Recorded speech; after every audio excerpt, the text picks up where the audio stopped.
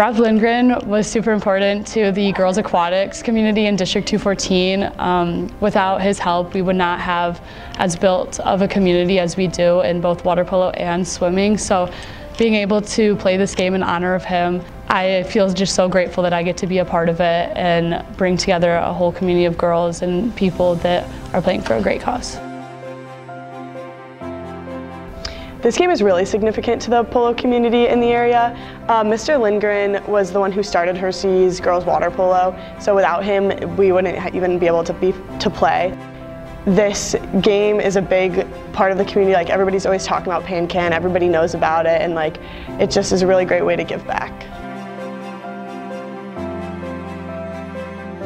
Raising um, money for pancreatic cancer and raising awareness to it while also um, teaching people about like a new sport that they might not have heard of. Um, it's a really great way to um, build our community and raise awareness to a great cause. I think fans should show up because it's like the whole, um, all of PanCan has just like great energy and it's really competitive while, and we can compete while having fun and it's just a great thing to be a part of and watch. I think that fans should show up and watch this game because it's the only time when all four teams, uh, girls and boys Prospect and Hersey, are all playing at our home pool, which we share.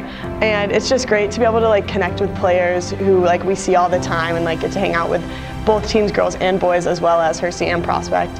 And also, it's just a really awesome time. There's always like music and raffles, and all of the proceeds go to um, pancreatic cancer research. So any like showing up and donations would help.